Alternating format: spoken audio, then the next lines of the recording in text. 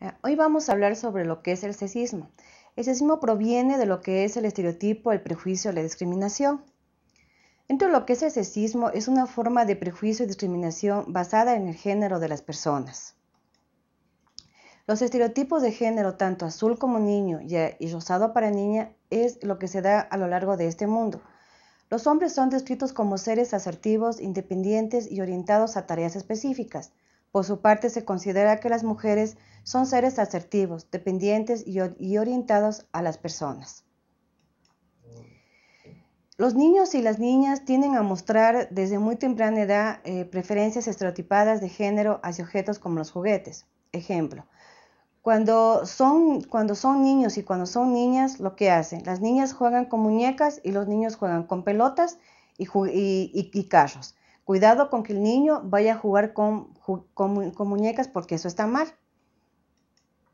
Nosotros desde muy temprana edad, a las, mamás, somos las que, las formamos ese, ese, ese prejuicio o esa discriminación entre nuestros, nuestros propios hijos.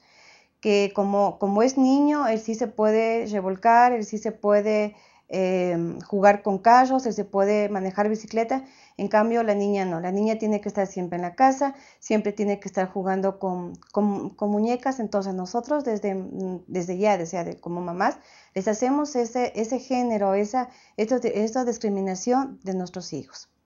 Los estereotipos de género están, están, tan arriesgados que sesgan la percepción tanto de hombres y mujeres desde su nacimiento, como yo les decía. Cuando nacen los niños, que si es niña, que adornemos la casa con todo, el cuarto, perdón, con todo rosado. Y si es niño, tenemos que adornarle con cosas azules. ¿Cuál es la cultura de los medios de comunicación de esto dentro de lo que es género? Los medios masivos de comunicación fomentan las distinciones de género a través de sus representaciones tanto masculinas como femeninas.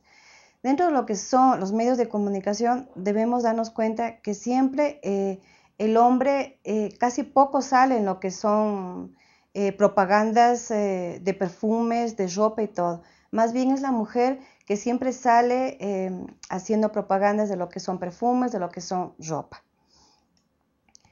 Se ha considerado que las imágenes estereotipadas de hombres y mujeres presentadas por los medios tienen implicaciones en la creciente incidencia de desórdenes alimenticios y de la ansiedad respecto a la apariencia física y dichas imágenes son capaces de afectar el comportamiento tanto de hombres como mujeres.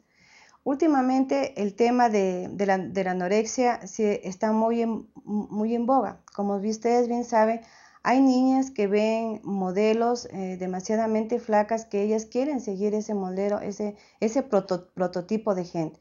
Que muchas veces nosotros como mamás no nos fijamos qué es lo que le está pasando a nuestras hijas o a nuestros hijos que a veces se enflaquecen para verse bien o para verse como una modelo. El sexismo ambivalente es el que refleja al mismo tiempo un sexismo hostil, caracterizado por sentimientos tanto negativos y lleno de resentimiento hacia las mujeres. Y el sexismo benevolente está caracterizado por sentimientos afectuosos, corteses, pero potencialmente paternalistas hacia las mujeres. ¿Cuál es la discriminación sexual y el doble estándar de los estereotipos invasivos? Existen notables diferencias en las elecciones profesionales tomadas por cada sexo. Hombres y mujeres son juzgados de maneras más favorables cuando solicitan empleos consistentes en los estereotipos de género.